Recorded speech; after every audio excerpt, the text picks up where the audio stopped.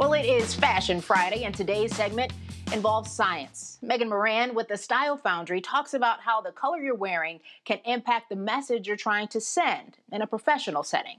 Megan says we have mental and physical reactions to colors.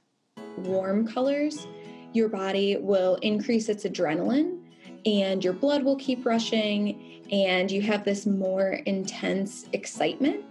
Whereas cool colors, so think like your blues, your greens, um, actually lower your blood pressure and make you more calm in a situation where you see that color. What I recommend is my power palettes. There are five different colors, and those colors aren't specifically telling you to wear a certain color, but the color hues, shades, warm colors versus cool colors will incite a different reaction. So, to what you're saying, depending on the message that my client wants to send, will dictate which of their color they're going to choose. So there's your passion color. I'm wearing my passion color, which is my version of red.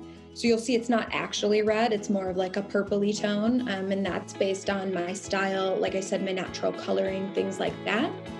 But because it's a warmer color, I put it on when I want to increase excitement and get people moving.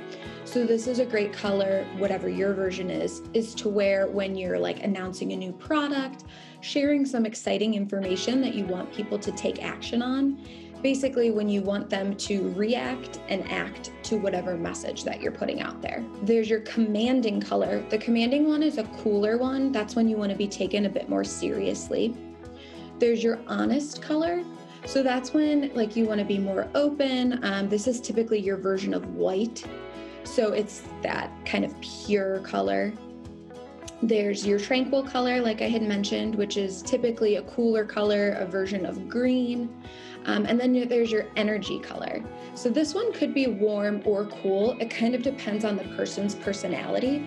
Um, for example, I have a lot of personality and I'm very bubbly, so my energy color balances me out and is cooler. Someone who, for example, is doesn't have as much natural energy might need a color to boost them, which would be a warmer color because it's going to incite that natural reaction. So that could be, you know, a red, a yellow, something like that. That's another one that's good for boosting your mood, your energy color, both you personally and whoever's seeing you across the screen.